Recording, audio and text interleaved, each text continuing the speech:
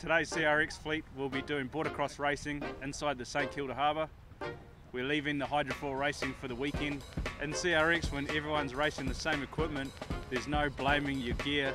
It levels the playing field and uh, it really comes down to your skills and experience.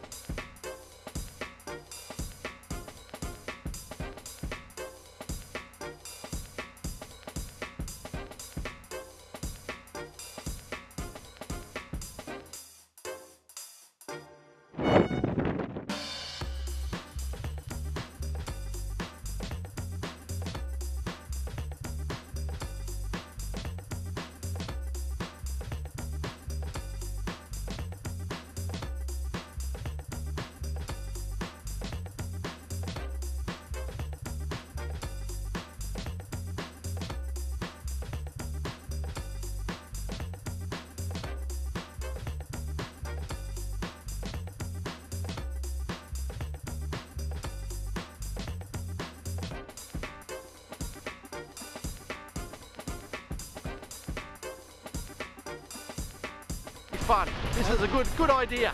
Loving it. Yeah, really tight, close racing. Yeah, a few wins. It was a good competition though. Pretty uh, pretty fast, windy. I do. I really like that. I like the one design format. I think it works really well for this kind of thing. It means that you don't have to worry about having the best gear to be able to compete. You just go out there and just race.